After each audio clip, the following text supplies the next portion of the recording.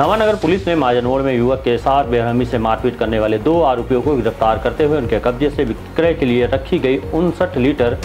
महुआ शराब भी जब्त की है। वहीं बताते चले कि उक्त कार्रवाई जो है, एसपी मोहम्मद यूसुफ कुरैसी के निर्देशन एवं सीएसपी शिव कुमार वर्मा और सीएसपी देवेश कुमार पाठक के मार्गदर्शन में की गई है। बता दें कि नवानगर टीआई रावेंद्र द्विवेदी ने की है यह कार्रवाई। बताते चले कि विगत तीन जुलाई को चार बजे सोशल मीडिया पर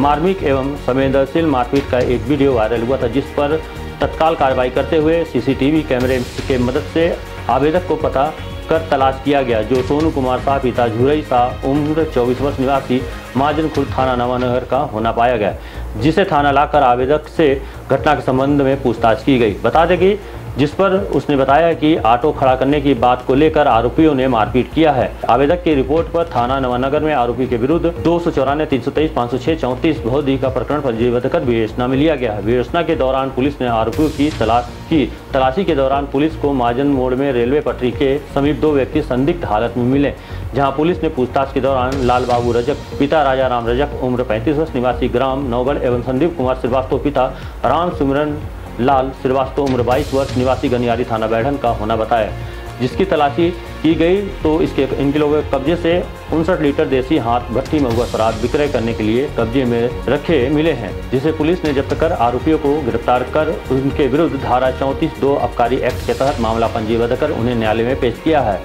जहाँ से उन्हें जेल भेज दिया गया है।